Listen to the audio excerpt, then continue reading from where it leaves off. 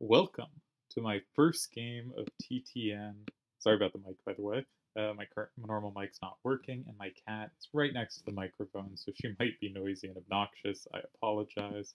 By which I mean right next to my laptop mic. Um, we are going to be playing Delial in my first game of TTN in maybe 15 years ish. Um, I haven't done any so far in the return. It's been very popular. It's been a big hit. I'm not. Uh, I think it's been great. It's doing so well. I gotta remember plus is not on. Uh, we will have to suffer through elemental all. Uh, just making sure I got the rules set yet. Right, same plus wall random combo element all. Closed or semi-closed of one open. I don't really remember how that works. I just think you have one card that's open and the rest closed. Presumably you want to use that open card as fast as possible. Um, I'm not sure it's obvious which of my cards my opponent can see but presumably it's the one lined up with the one I'll be able to see in their hand, so I'll know which one I kind of want to get rid get rid of. Again, this is this is all new to me, um, and so we're starting off with a very easy opponent. I'm on the Guardians account of Delial. Ah, it does make it clear. Oh, that's an annoying thing to have to scroll. Okay, um, so we have six cards with numbers in various places on the card. They have one visible card. Presumably, tens are the most powerful number. Um, presumably, they have first turn. Okay, they're going to take that safe square, probably. Hmm, just looking at our cards. 95A2, 7766, 29A3. It's so weird to have some that are like graphics, like, right? Like, two, 4A73, that's pretty clearly a Fire Emblem character, right? And then uh, 29A3 is just a person. Um, all right, so we have six cards each, so we're gonna occupy 12 squares, I guess. Presumably this means I do get last turn, right? Presumably we use all 12 cards. And so, huh. Oh, there's an E on every spot. Can we read what the E's are on the cards? I think I think the second card, the 7766, I'm not sure I'm highlighting it for you. I think I'm highlighting lots of things. That looks like it has a purple symbol that matches some of these cards. It seems like some might have multiple symbols. It seems like some have multiple symbols. I don't think the top card has an element. I don't think the third card has an element. The fourth card has the winged feather, which lines up with the um, the leftmost thing in the second row, or one of the things there. Okay, they do take the free card and they do use their their visible card. Now, I would like to use my A476, um, but I kind of want to occupy I guess what we call four. If we think of the board as one, two, three, four, five, uh, is the top row, one, two, three, four, next row, five, six, seven, eight, third row, 9, 10, 11, 12, fourth row, 13, 14, 15, 16, then I think I kind of want to occupy four because if it's safe, that's great, and I have some play despite unpleasantness of them getting a free square and me not doing so. And if they take it, like, how much more behind am I really? Okay, so there are 13 squares on the board, and there's going to be presumably 12 cards played. So that leaves one square left over at the end. Now, A476 is not really the card I want to put in 4. Now, if he takes in 4, I'll generally want stuff facing to the right and maybe facing up to actively play towards the action. If he does not take in 8, then I probably can block 8 next turn with A476. Um, though in which case, I really don't have much up. That might be an important card to hold on to if the game's going to be directed that way. If I go in 4 and he doesn't go anywhere near the action, I don't really know where I want to be. Um, how likely are double numbers going upright? Well, all decks are on. Based on my hand, you know, I do have that. There are a bunch of double numbers in the hand, but not like an infinite amount. I could also put, hmm, nah, not really. I assume the blocks count as walls of 10. I assume. So that can set off some funny plus walls in the middle of the board. Yeah, I'm just gonna I'm just gonna try to take the um the potential good square. I also like that, okay, if he plus walls it, he's locked in a second free card, and I'm way behind.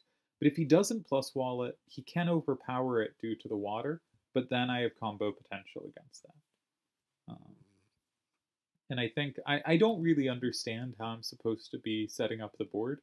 You know, I could play a strong corner in one or in 16 or something, but I think I wanna I think I wanna roll the dice. I don't know if first or second turn's an advantage here. Usually having last turn's a pretty big advantage. Um, presumably first turn, if first turn gets a free square and can use their open card, which presumably again ours is the last one. Um, then presumably they now have the advantage. I remember being, you know, it's easy to get annoyed at un, uh, unbalanced boards. Um, so first turn clearly has an advantage in this specific game, but it might, it probably is that second turn has an advantage generally, right? If you play three by three triple triad, first turn is a slight advantage.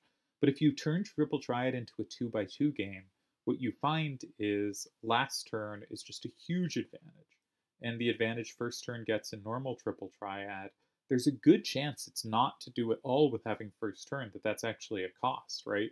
That putting a card on the board lets the opponent have some initiative against that card. You might think it lets me set up combos and stuff, you know, through five or something like that, but that is very much relying on the power of last turn, right? It's trying to get rid of the first turn weakness by having it connect. All right, he does have it under control. That is a shame. Now, does he have a second card with double numbers facing up? Do we want to try to, um, do we want to try to call big bluffs here? I probably don't. Probably don't.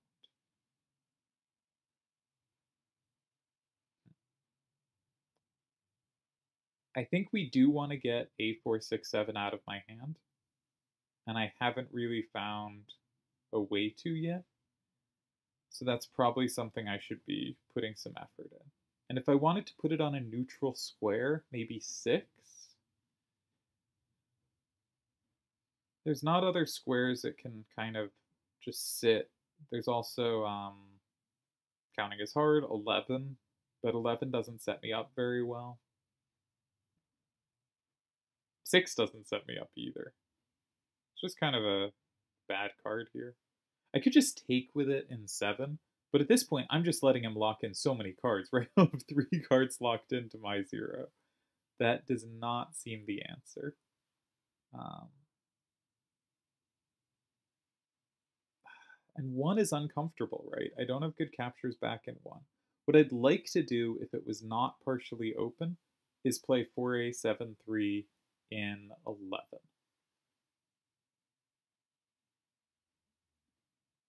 That gives me some nice last turns. And I think that's what I'll do. I think that's what I'll do. We really got to get a4, 7, 6 out of my hand, but I might play that in 10 next turn. Right? 10 is kind of half open.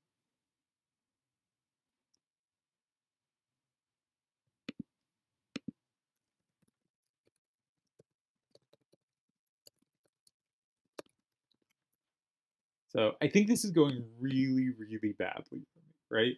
He got a free square. I went, okay, let's just hope he doesn't have it. Not only did he have it, but he, he might have had two of it, right? You know, he might not have 12, but he might have 12. Um, and if he didn't have 12, there's a pretty decent chance he has 12 after my move. I just don't know how frequent stuff is, and I thought I need compensation. Not sure what else I should have gone for. It's possible I made the right move and it just didn't work out here. But it's possible I very much did not make the right move. Now, sadly, we don't have any um, plus potential in 7, but 7 could scare him out of being able to go in 12. And 6-4-A6 is potentially a really nice last turn for me in 7, though it can't actually interact with that many squares, right? it feels like these moves in the middle of the board on final turns should interact with a lot of the board. Maybe they just don't. Maybe so much of the board is decided by then. Ah, that gets a plus one. Gotta keep an eye on that. I forgot about elementals after talking about them at the start. So that removes the one square I think that 7766 could have had an elemental. Now, what I want to do is I want to play A476 in 15.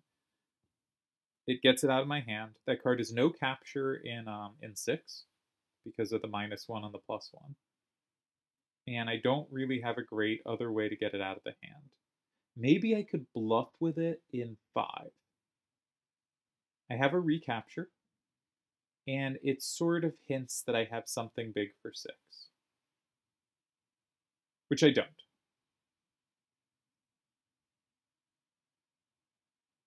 but I think bluffing that square could be nice. One other thing, though, is it does have a plus wall in 15, but he'll always be aware of that and able to play around it. So maybe I should bluff it in 5. I really don't want it in my hand. It's not a good card to have in my hand. So 15 or 5. 5 is trying to make him think I have 6.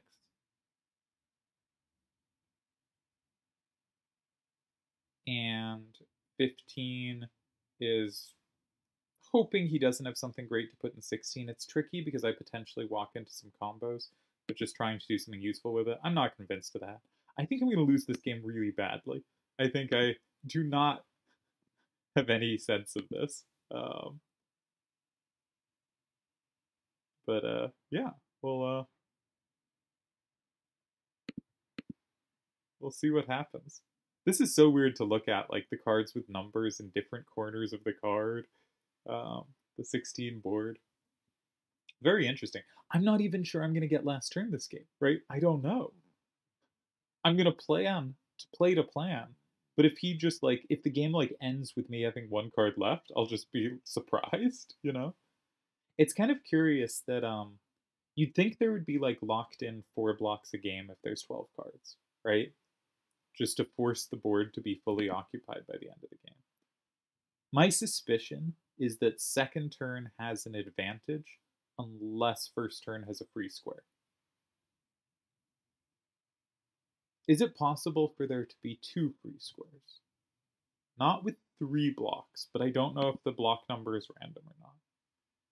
All right, we did get him to block five, uh, six. He had a same there. Okay. Sadly, our 6-4-A6 does not land nearly as well with that exact 6 facing out as we would have dreamed of. That's annoying. That's annoying. I, I mean, I think we gotta play 7766 in 1, but that we don't have this big powerful thing to do in in 7 is really crummy for us. The other thing to do is could we find a way to use 9-5-A2 usefully? And the answer is just no. So we're going to lock in a card. We're going to say, I got one card this game. Boom, we got a card. We're only down 8 to 4. With very little combo potential. Oh, that 6 is so annoying. Right? Because we had, like, we didn't have play against that much, but we'd play against an 8, we'd play against a 10, as long as it didn't get a plus one, we could take anything five or down. So six, seven, and nine were the annoying numbers. Um, yeah, and those were always going to be annoying given my hand. So there was a lot of stuff that was annoying, but this is the trolliest number to be annoying. Okay. Now, we're down 8 to 4. Presuming we have last turn, if I play 9, 5, A2, and 2, I'm guaranteed at least two captures on my final turn. And I might even, if my final turn is in 12, land three captures. So I think we just block two. And if the game ends here, we lose 8 to 4. But if the game doesn't end here, we've gotten at least a tie.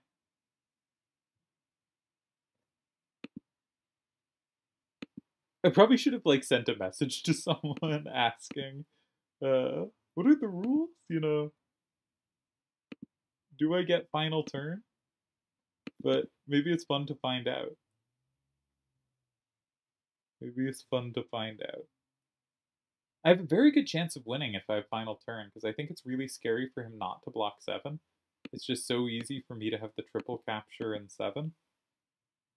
I lose? Okay. Who knew? Okay, so first turn has an enormous advantage.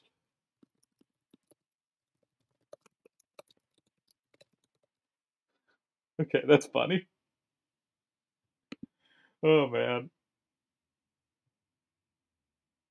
Alright, so we learned something. I just figured, given that the board's unoccupied, they let you play out all your cards.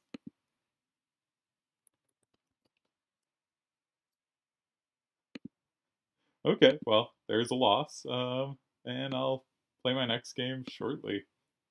That's funny. We learned something.